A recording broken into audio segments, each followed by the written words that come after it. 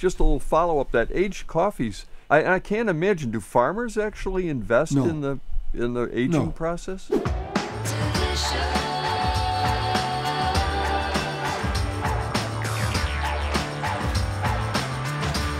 No, it's not farmers. They've sold their coffee. No, no, this is that exporter. These are middlemen, exporters. The yes. middlemen are usually in Sumatra, they're the people who collect the coffee. They're sometimes called collectors. collectors. Okay. They collect the coffees from the small producers and take it on the first stage of this wet hulling process.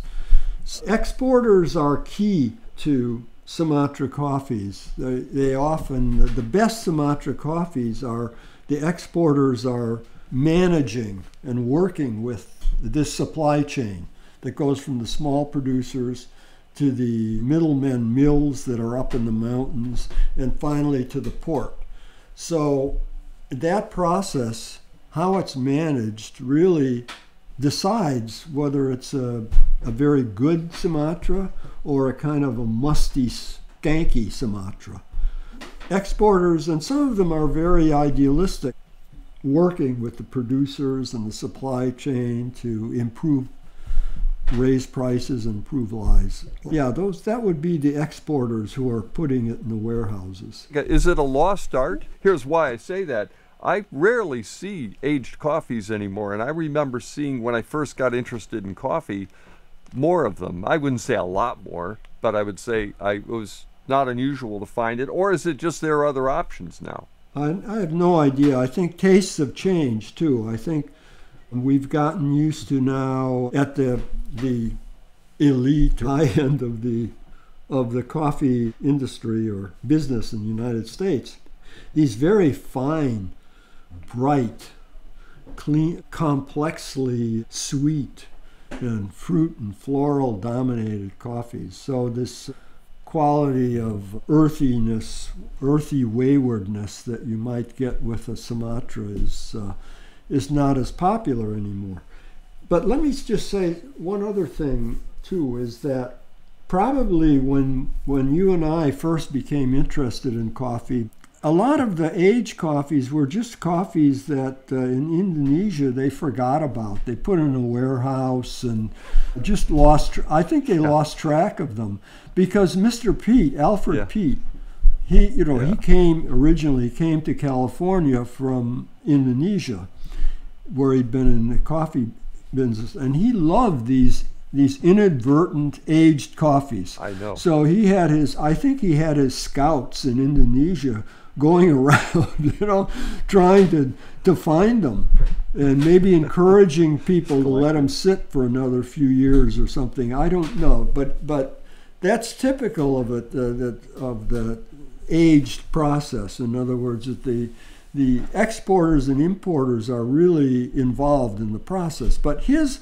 his aged coffees, he used to have aged Sulawesi, aged, yeah, Oh, aged know, yeah. Those days are gone. I think nobody does that anymore. Maybe No. I have no idea really where he found them, but I know that he had people looking for them. He still has aged Sumatra. Yeah, well, he- but the aged Sumatra, I'm most certain, is done in this this formal way that I'm talking about.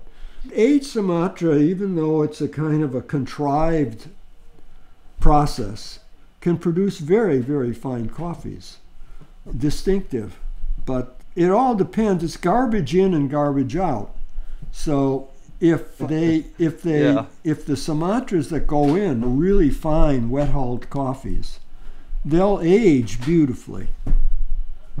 If they go in as kind of musty, dirty Sumatras, they'll come out even worse, I suppose.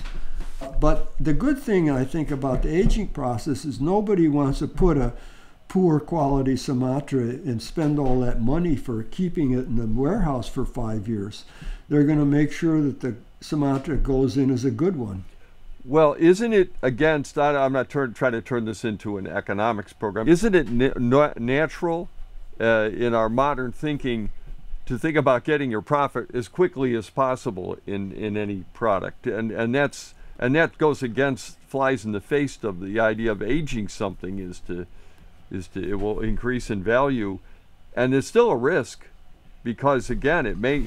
I, I, I think there's a, probably more than a third option out there. I'm sure, but one option is that you put a fine coffee in, and sometimes something goes wrong. I don't imagine what it would be. I'm not that knowledgeable about the process, but there's always the risk Yeah. that it, it it doesn't fulfill what you're hoping But for. but if you look at the at modern uh, economics, you there there's a a privileging of of aged old like old wines, old brandies, old Mhm. bourbon whiskeys. So there's a very prominent uh, model in other beverages. And so I'm surprised from that point of view why you know, aged coffees haven't gotten more um, more uh, popular. But it, you're right; it's expensive. On the other hand, if you if you have a clientele that recognizes this as something special, even if it doesn't taste that great, they recognize it as something special, then you'll have a market for it. And I don't think that's true in coffee. Maybe it will be because because the interest in coffee is more in high end coffee is more on the the the producer, not the exporter. You know what the producer does and connecting with the producer and and the very fresh crop coffee that's very bright and melodic and and floral and fruit and so on, rather than these you know deep old resonant kinds of uh, of tastes. And, and driving the point bluntly to this coffee today is this is this worth you know someone and i guess i'm asking us both of us is this coffee has an aged coffee in it is it does it do you think it makes a difference in the blend? Oh, of course, yeah. Uh, I mean, yeah, I we don't know. I mean, we because wet hulled coffees vary so wildly depending on how the supply chain has handled that that process. I've tasted brilliant aged Sumatras, straight aged Sumatras, but again, they're expensive because you have already good coffees put in a warehouse for several years. We'll see. Maybe they'll somebody will discover them. That's about all I say. I mean, the richness of the coffee world would be would be expanded if there were more focus, perhaps, on aged coffees. But uh, there has to be a market of people who pay well. I mean, Martinez is known for high-priced, and you know, just the whole resonance around the name too, of the of the cigar uh, company and uh, and and and Cuba and uh, that kind of uh, tradition, I guess, of uh, of Caribbean uh, resonance.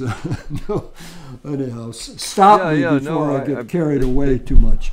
But anyhow, Martinez, the, the brand Martinez, is in a good position to take advantage of the uh, age. But I, I've had, for instance, local, big, lo- wonderful local ro- roaster, Equator Coffee.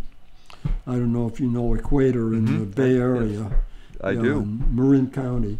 Uh, they have done aged Sumatras. Ted Stachur, the the uh, head of coffee Equator, chooses aged some aged Sumatras sometimes, and uh, they're brilliant. The ones I've had have been very good, and I've had them from other roasters. I can't remember who. yeah that's part of the reason i i selected this one i was interested in the uh, Yeah. age component please like and subscribe if you want to see more shows like this